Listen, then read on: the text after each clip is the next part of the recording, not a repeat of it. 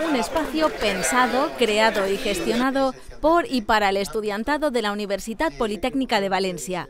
Así nació el 4 de diciembre de 2003 la Casa del Alumno, un referente universitario nacional que acaba de cumplir sus primeros 20 años. En su momento fue un hito que mucha gente no entendía, hace 20 años obviamente.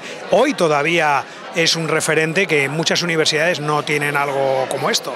Es un, un espacio de encuentro del estudiantado que gestionan ellos mismos, utilísimo para la vida social de los estudiantes en el campus y desde incluso el cual se organizan algunos de los programas que tenemos, algunos muy importantes, de formación en competencias transversales del estudiantado. La Casa del Alumno fue impulsada por el entonces rector Justo Nieto, que participó en el aniversario, recordando la construcción del edificio y la importancia del hito conseguido, siendo pionera entre las universidades españolas con un futuro expectante por delante. Yo creo que a la Casa del Alumno le quedan 20, 40 y muchos años más, la verdad. Creo que el objetivo de la Casa del Alumno es siempre adaptarse a los nuevos estudiantes que hay, a la comunidad a la que eh, representa y creo que puede ser la misma idea, pero siempre con muchos avances. Creo que eso es un foco principal para trabajar dentro de la Casa del Alumno. Tras los discursos oficiales y el tradicional cumpleaños feliz, la Casa del Alumno sopló las velas y celebró este aniversario con una mascleta, paella gigante